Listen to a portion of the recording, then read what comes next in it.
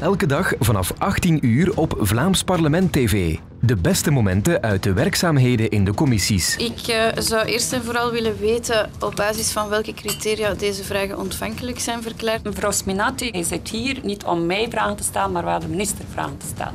Voilà. En als u denkt dat u over mij beroepsrechter moet spelen, tot op heden is dat niet aan de orde. En de hoogtepunten uit de politieke debatten in de koepelzaal van het Vlaams parlement. Toen u het had over een standje bijsteken, bedoelde u ongetwijfeld een tandje bijsteken. Daarna 24 uur in de nieuwslus. Voilà, dat is activerend. Dat is activerend. Voor sommige mensen kan dat, kan dat inderdaad activerend zijn. Ja. Ik weet niet of dat wil stimuleren op onze arbeidsmarkt, maar dat is al niet te min. Volg Vlaams Parlement TV op Facebook en Twitter en bezoek onze website op www.vlaamsparlement.tv.